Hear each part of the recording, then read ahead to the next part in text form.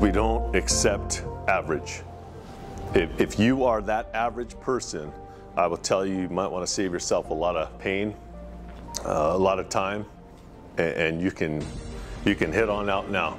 We want the best. And that says a lot that you're here. We're here to serve the public. That's our job. If you cannot do that or you don't want to do that, then I will tell you right now, don't waste my time, don't waste my instructor's time. You can take your stuff and leave now. That's what we do. We serve the community, period. The uniform is supposed to say something about you. You guys are all going to get it for nothing. Comes with the history, guys. Don't screw it up. Good luck. Good luck, gentlemen. I mean that.